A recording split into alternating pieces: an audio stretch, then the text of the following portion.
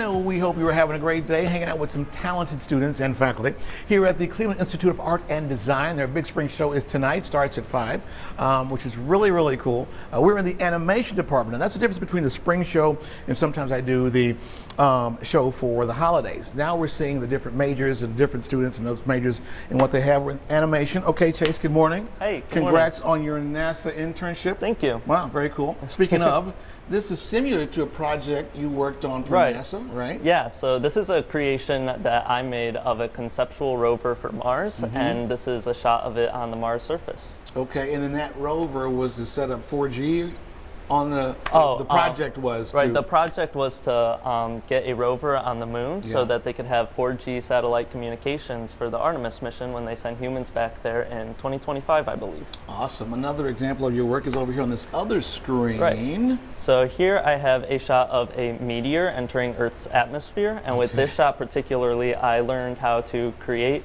uh, simulations and get better focus of detail. This is a supernova, a massive star collapsing in on itself, creating a nebula. Okay. Um, and then I use a 2D transition effect to make Okay. it look like one cohesive event. And this animation could be used how? Give me an example. Um, really, it's a great way to uh, visualize what happens in space, Okay. um, especially since a lot of the time what we look at is like physics and mathematics-based stuff.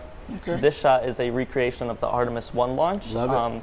the challenge with this shot was to uh, recreate all the dense smoke coming out of the rocket while still getting a good overall feeling and um, all that It's intricate believable because you got me. Okay, McKenna, this is the, you said this is 2D, more like what I'm used to, the older guys.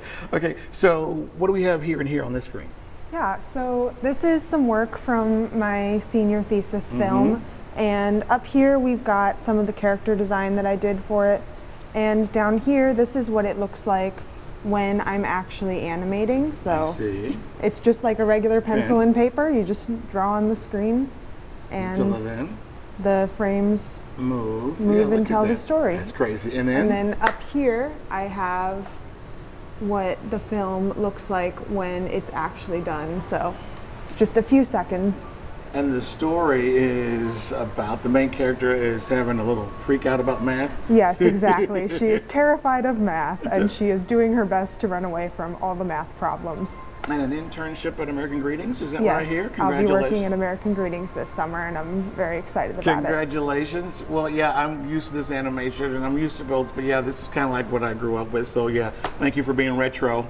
So cool. Yeah. And they're going to show an animation feature at 7:30 p.m. tonight, just to give you an idea of what the students can create here. It is tremendous, and all those blockbusters, you guys, that I showed, and that's only one wall. Um, a CIA animation graduate, their work is represented in those blockbuster films. That's awesome! Isn't that amazing? yes, cool. Yeah. amazing, right? Doing great things.